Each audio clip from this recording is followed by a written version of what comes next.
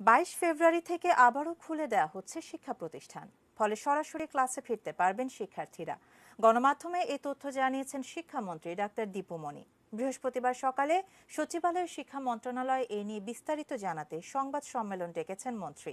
এর আগে বুধবার করোনা সংক্রান্ত জাতীয় কারিগরি পরামর্শ কমিটির সঙ্গে শিক্ষামন্ত্রী বৈঠক করেন।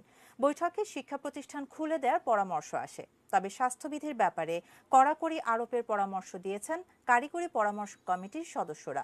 বাইশ ফেব্রুয়ারি খুলবে মাধ্যমিক, উচ্চ মাধ্যমিক ও বিশ্ববিদ্যালয় পর্যায়ে শিক্ষা প্রতিষ্ঠান। করোনা পরিস্থিতির উন্নতি হলে প্রাথমিক পর্যায়ের শিক্ষা প্রতিষ্ঠানও খুলে দেওয়া হতে পারে।